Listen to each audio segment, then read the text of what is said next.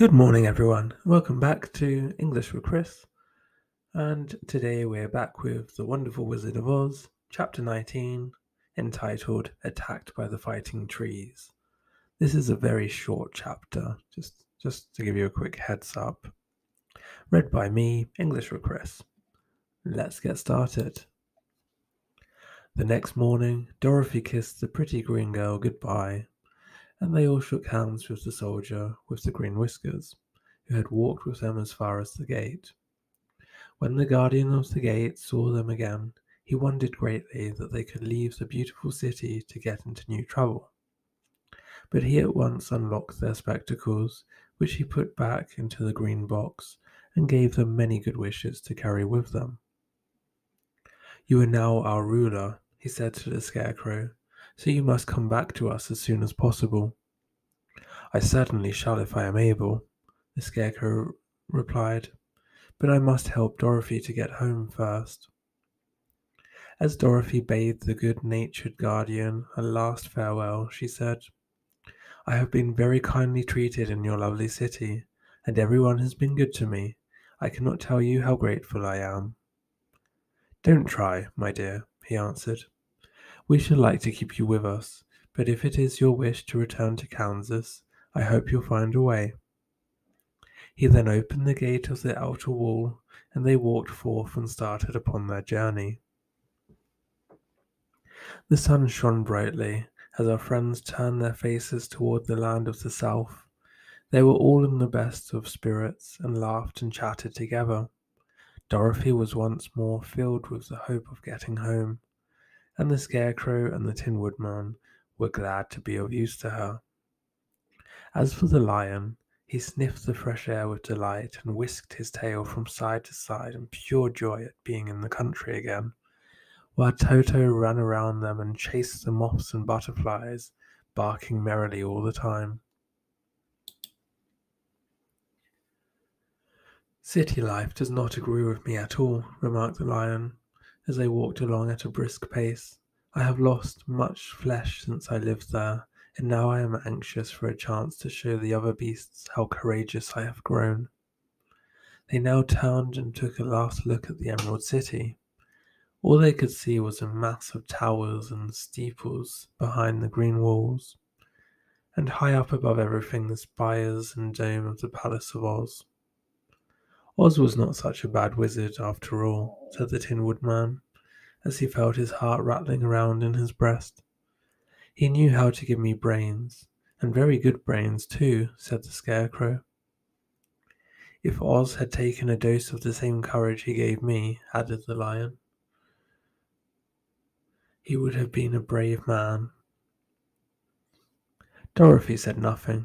Oz had not kept the promise he made her, but he had done his best, so she forgave him. As he said, he was a good man, even if he was a bad wizard. The first day's journey was, through, was through the green fields and bright flowers that stretched above the Emerald City on every side. They slept that night on the grass, with nothing but the stars over them, and they rested very well indeed. In the morning they travelled on until they came to a thick wood there was no way of going around it, for it seemed to extend to the right and left as far as they could see, and besides, they did not dare change the direction of their journey for fear of getting lost. So they looked for the best place where it would be easiest to get into the forest. The Scarecrow, who was in the lead, finally discovered a big tree with such wide spreading branches that there was room for the party to pass underneath. So he walked forward to the tree, but just as he came under the first branches, they bent down and twined around him, and the next minute he was raised from the ground and flung headlong among his fellow travellers. This did not hurt the Scarecrow, but it surprised him, and he looked rather dizzy when Dorothy picked him up. Here is another pass between the trees, called the lion. Let me try it first, said the scarecrow, for it doesn't hurt hurt me to get thrown about. He walked up to another tree as he spoke, but its branches immediately seized him and tossed him back again. This is strange, exclaimed Dorothy. What shall we do? The trees seem to have made up their minds to fight us and stop our journey, remarked the lion. I believe I would try it myself, said the woodman, and shouldering his axe, he marched up to the first tree that had handled the scarecrow so roughly. When a big branch bent down to seize him, the woodman chopped at it so fiercely that he cut it in two.